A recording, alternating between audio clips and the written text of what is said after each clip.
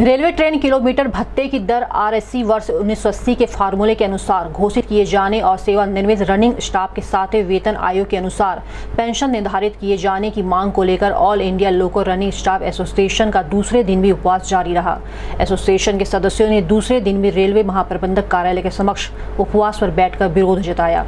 इस मौके पर उपवास स्तर पर एक सभा आयोजित की गई, जिसमें एसोसिएशन से जुड़े लोगों ने रेलवे प्रशासन द्वारा कर्मचारियों पर किए जा रहे उत्पीड़न और आंदोलन आंदोलन के माध्यम से कर्मचारियों के मांग के निस्तारण पर अपने विचार रखे।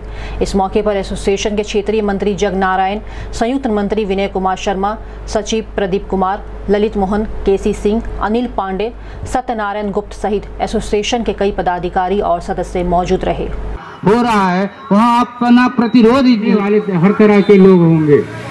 हर तरह के लोग होंगे आपको मंजिल आप ले जाते हैं लेकिन मंजिल तक साथ वो भी आपके देंगे वो भी आपके साथ चलेंगे।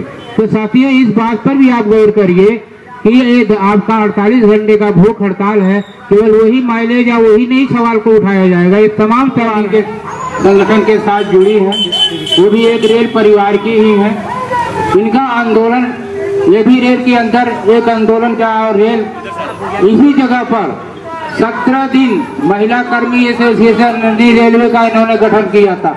और सत्रह दिन तक इन्होंने रात दिन बरसात के अंदर आप एक दो दिन की बात नहीं, सत्रह दिन बारिश के समय में इन्होंने और उस वक्त डी हरिराम धरना के जीएम जीएम थे और उनको पनाह मान लेना पड़ा कि इतना लड़ाकू महिलाएँ गोरखपुर की हैं कि जीएम ऑफ़िस में आती थी धरना देने के लिए, जीएम ऑफ़िस में ताला लग जाता था, ताला लग जाता, सोच लीजिए, आपसे पूछने और ये लोग बता के नहीं आती थी। लोग जानते थे कि वही अगर बता के आएँगे तो कहीं तो फोर्स लगा आप अभिनंदन के पास। साथी, कल से आप यहाँ भूख हड़ताल कर रहे हैं। लेकिन जो रेल प्रशासन है, उसके कान पर अभी तक जू नहीं रहेंगी है कि इतना संवेदनहीनता अधिकारियों के अंदर आ गई ये अधिकारी हमारे आपके बीच के होते हैं या कुछ और ऊँचे वर्ग से भी होते हैं।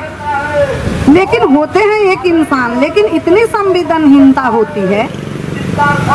यह समझ में नहीं आती कि ये इतने संवेदनहीन क्यों होते आज देश की जो वर्तमान स्थिति है,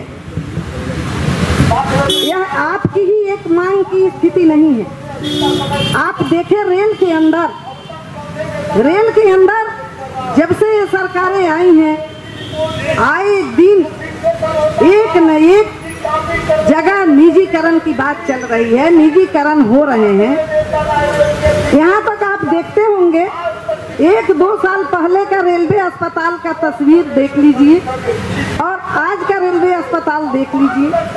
आप जाएँगे तो एक दवा रिपीट कराने के लिए वहाँ डॉक्टर आपको नहीं मिले इसकी लड़ाई भी साथी आपको ही लड़नी है इसलिए मैं थोड़ा इस पर प्रकाश डाल एडमिट होती हैं।